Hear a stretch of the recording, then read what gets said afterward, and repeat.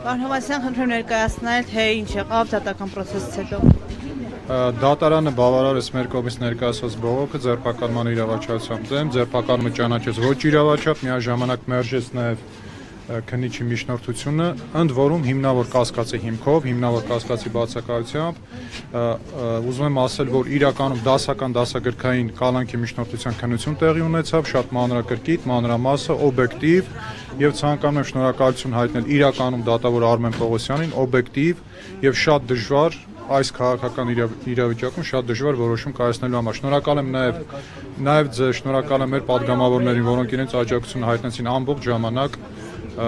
Արթուր Գալեյանի։ Շնորհակալ եմ նաեւ ժողովրդին, որ իրենց աջակցությունը հայտնեցին։ Հենց հիմա ազատության մեջ։ Բայց ո՞նց չուզում, հա, դու մեկ չունես ազատալի։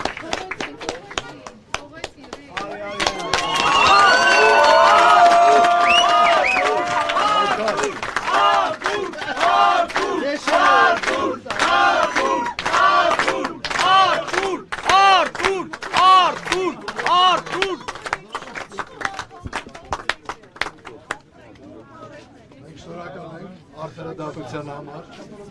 Սա մեր գումարն է սուր։ Շատ հուսում ենք, որ բոլորին այդպես արդարադատություն կմատուցեն։ Պայքարելու ենք հանուն մեր տղեկի, մեր զոհված զինվորների։ Ես իրանք շիրիմին մեռնեմ։